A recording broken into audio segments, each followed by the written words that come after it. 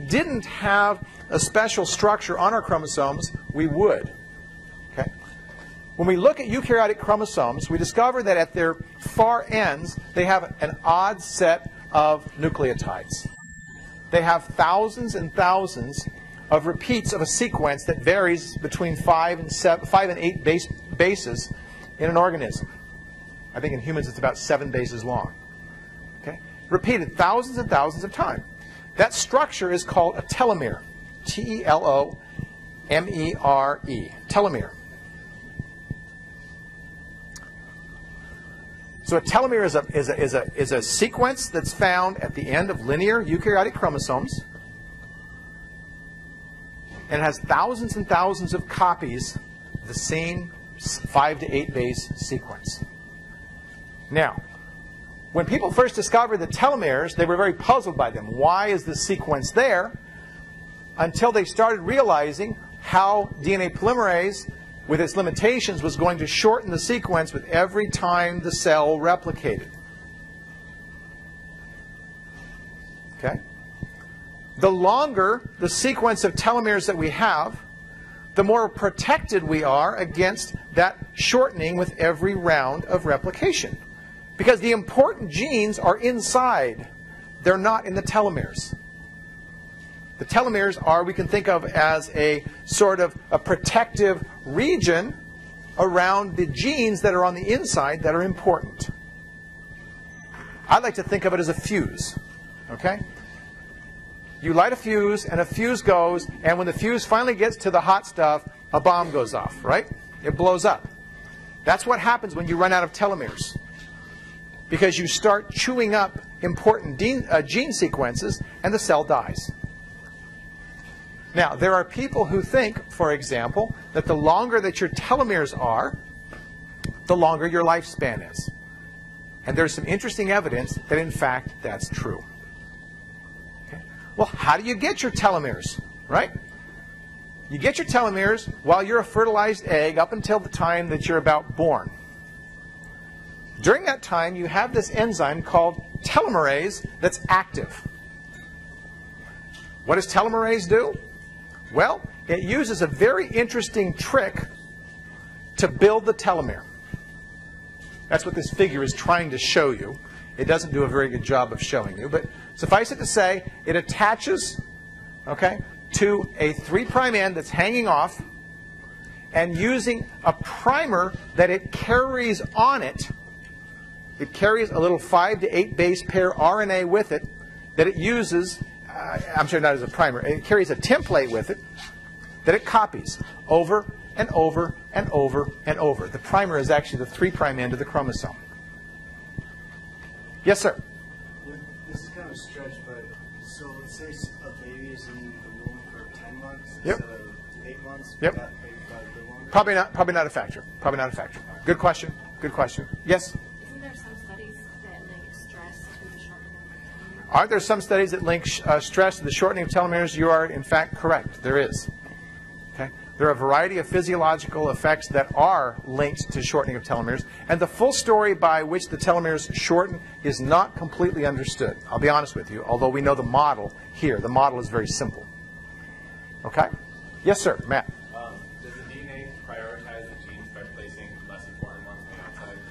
Does the, do, are the genes organized so that the less important ones are on the outside? I don't know the answer to that question. You would predict that that probably would be the case and that you would, in fact, start seeing effects. But every gene that you have is there for a reason. So, um, in a sense, it's hard to. I mean, you can imagine some are more important than others, but nonetheless, that every gene is ultimately important. So, yeah, yeah, but, but again, I, I don't know the specific answer to the question. Yes, Lynette.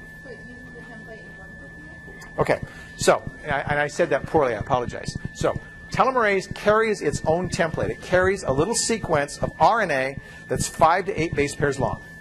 So what it does is it comes up here and it latches itself onto the 3' prime end and it lays that primer out there so that the polymerase can copy it. It's a very interesting and odd enzyme. So this polymerase is copying an RNA template and using the 3' prime end of the chromosome as a primer. Okay? So this makes telomerase a reverse transcriptase. something that copies RNA and makes DNA is a reverse transcriptase. Well, so the telomerase, the what it does then, and I didn't finish the story, so let me finish the story then. What the telomerase does is it starts making thousands and thousands of copies out this direction, and now it's possible for an RNA polymerase to come out, say here, and say, okay, I'll make a primer so that now DNA can be filled in. And so that's what happens ultimately. So that's how you build your telomeres over and over and over using this telomerase that's there. One of the questions that students frequently ask at this point is, well, if we can figure out how to make telomerase active, then we can live forever. Everybody's in favor of that, right? You- You're voting for it back there? Vote, another vote from the crowd. I'm very happy to see these votes. Okay. Well, that's fine, except for the fact that we discover that there's only a handful of cells in which telomerase is active embryonic cells, stem cells, and, oh, yes, cancer cells. Now, one of the things that you might do by making telomerase active is turn yourself into an enormous tumor. I don't know that's the case. Okay? But I would wager that you would be running a risk of that. Well, why do tumors have telomerase active? The answer is because they have to. If they don't have telomerase active, they die out. So when you see a tumor, it has already selected itself for having telomerase active. It's not a very satisfying answer, but that- is the answer. Okay? So activating the expression of a gene is a complicated thing, but tumor cells have selected or have self-selected such that they have telomerase active. That's why we refer to tumor cells as immortal. We can take a tumor out of a person and we can literally grow it on a petri dish forever if we keep feeding it properly. We can't do that with our regular cells. They'll go for a few generations and they will die, and the reason they die is they start running out of telomeres. Yes?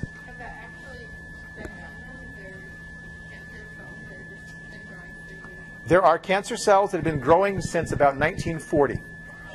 Yes. There was a lecture on campus uh, about a week ago um, talking about the um, uh, a, a woman named Helen um, Hen- Henrietta Lacks. That's what I'm sorry. I used to say Helen. Henrietta Lacks. Henrietta Lacks was the first person whose cells they took and kept growing, and they're still growing today. So yes, they've done that. How many people went and saw that lecture? Did you enjoy that?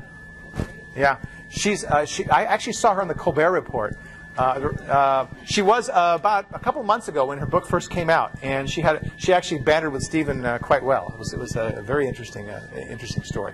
But Henrietta Lacks was the woman whose cells were taken. Her, her cells are called HeLa cells, and they're used in virtually every um, laboratory that does any kind of, of human tissue culture work. Almost every laboratory has these cells. Yes, sir.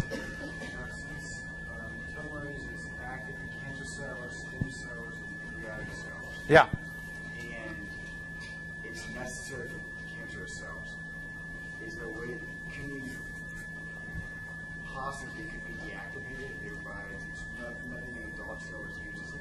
So his question is, can we inactivate it and if eh, inactivate telomerase and therefore use this as an anti-cancer treatment? That's basically your question.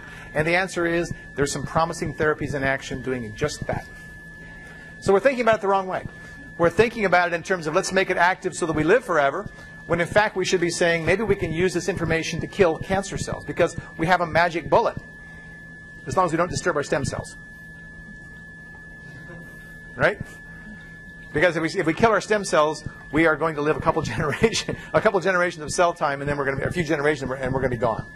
So they have to, the, the, the therapies have to be applied appropriately. But yes, there is some very interesting work that's being done with um, anti-telomerase drugs right now. So does it say, say that stem cells can also live forever? Stem cells also live forever? Um, it, it appears that stem cells can be propagated much like uh, tumor cells can. But the problem with stem cells is they're very, very difficult to, to culture. So um, it's, not a, it's not as trivial as working with a, with a tumor cell. Yes?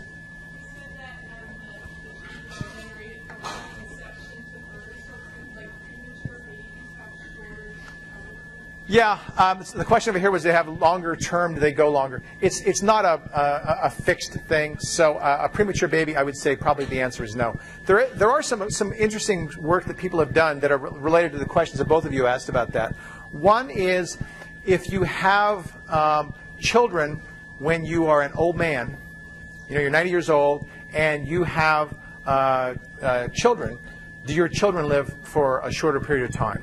Because you're starting out with a shorter DNA um, compared to, um, you know, somebody who's 30 years old. And the initial work on that suggested there might be a relationship, but it's not a very strong one if there is one. So that went out the window. Another thing that people saw was, people thought about was, well, if we look at how we clone animals, okay? We take a an uh, take a, a nucleus out of a an adult animal and we put it into a fertilized egg. Do does, does this animal then how now have the um, the telomeres of an adult and it lives a shorter period of, of time? And the answer to that one is a little bit more confusing. In some organisms, it appears that that's exactly what happens. They die prematurely.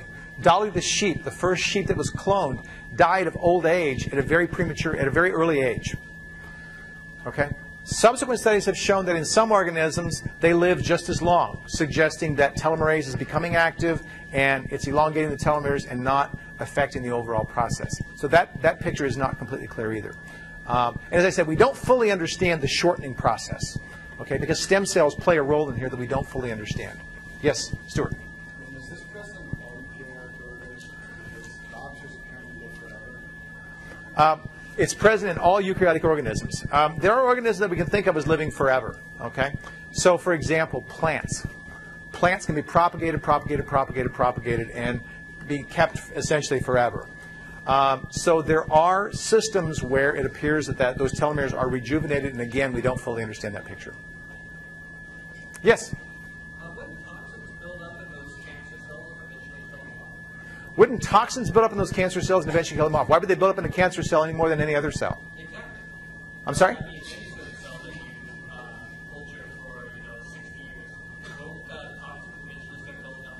No, because I mean they're, they're just a cell that's dividing like any other cell, so there's no reason that they would build up any more than any, they would in any other cell. So I'd say no, no. Okay, so I told you we'd find that interesting. Uh, I usually get more questions on telomerase than any other thing I talk about in the class. All right, uh, let's see what else. There's more of the blah blah blah and more blah blah blah. Okay. Okay and there's a bunch of polymerases. There are a bunch of polymerases uh, in eukaryotes. It- I, again, I don't think it really matters that we go through. The functions of all the eukaryotic polymerases is not completely clear, and there's probably about 10 to 12. There's a lot of, of DNA polymerases in um, eukaryotic cells. Okay, that's what I want to say about DNA uh, replication. Um, I'd like to, if there are no questions, turn our attention to RNA uh, synthesis. Any questions before I move forward? Okay, RNA. So RNA um, turns out to be simpler in some ways than DNA replication and more complicated in other ways.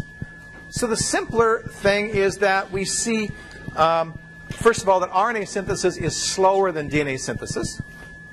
So if we look at E. coli, for example, where we had about 1,000 base pairs per second, we see that RNA is synthesized at the rate of about 50 base pairs per second.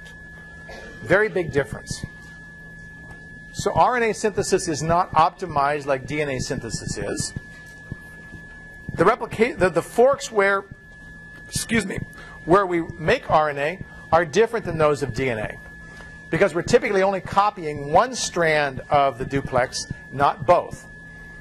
Okay? So in DNA replication, we had to copy both. That polymerase had to be at the fork and had to look both directions to do what it was doing. In RNA synthesis, the polymerase only has to be on one strand and copy that one strand. Another thing that's different about RNA synthesis is RNA is made in relatively short segments. In DNA synthesis, we're making the whole chromosome. In RNA, we're only copying individual genes. In prokaryotes, we'll see that the copying can involve uh, several linked